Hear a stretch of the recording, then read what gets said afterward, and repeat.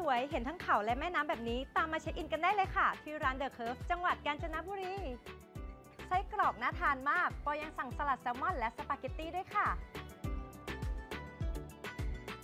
มื้อนี้ปอจ่ายสะดวกด้วยแอปพลิเคชัน m y m o จากธนาคารออมสิน สแกนกดจ่ายง่ายๆ แค่เพียงปลายนิ้ว m y m o My Moment ให้ m y m o เป็นทุกช่วงเวลาของคุณ ธนาคารออมสิน ธนาคารเพื่อสังคม